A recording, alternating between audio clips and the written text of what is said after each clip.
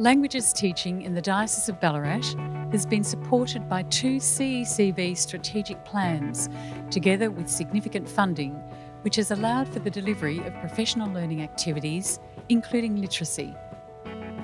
Teachers have also been supported to meet in smaller, localised professional learning teams to collaborate on long term planning. These video extracts capture three examples of good practice arising from this work in Ballarat diocesan schools.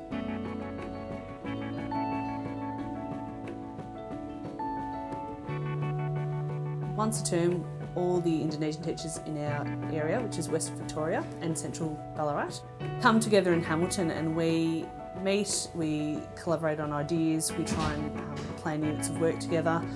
We share professional learning, so any teachers that have gone and had some professional development, we come back and be able to share that with the group. A great resource to have really because it saves us all having to attend events and because we're quite remote and live in rural Victoria, it's hard for us to get to a lot of professional development, especially in the city. We all came from a different range of Indonesian levels and teaching backgrounds.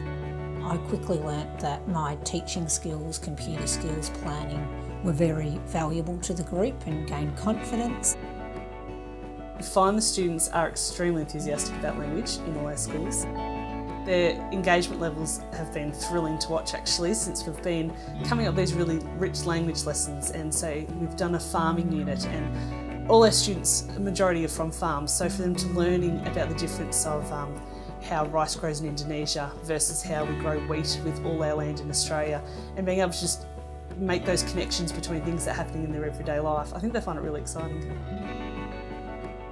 When I first came here, it was very much around just introducing children to the basics of the language, the numbers, the animals.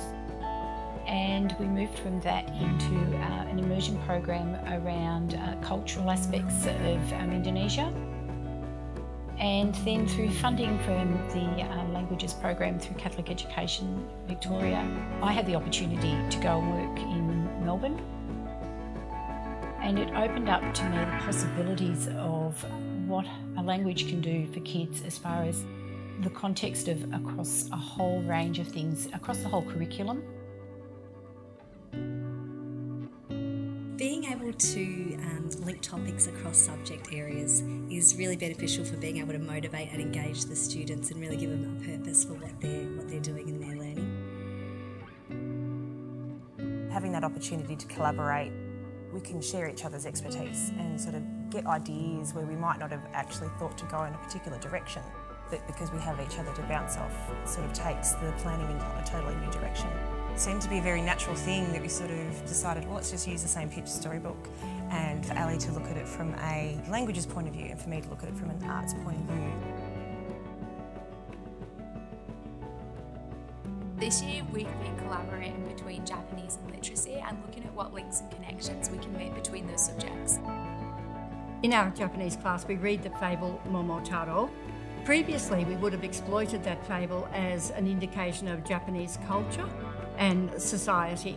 But having observed Sarah's class, where she was teaching character and plot and what characters reveal of themselves through the things that they say and do, it became clear to me that we could do the same in Japanese.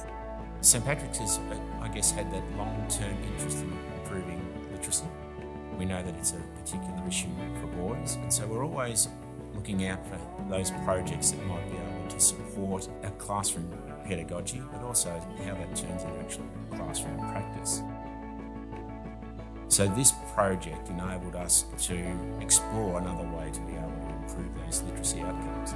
In this case, it happened just to be through the support that a second language can provide and can give not only to the classroom teachers but to the boys in this situation.